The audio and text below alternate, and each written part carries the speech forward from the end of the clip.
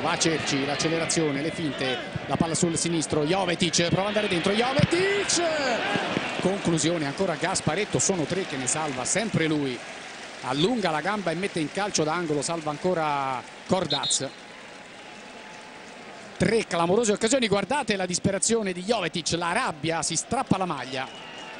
Ne serve un'altra perché vorrebbe tanto questo gol al suo rientro in una gara ufficiale dopo 462 giorni.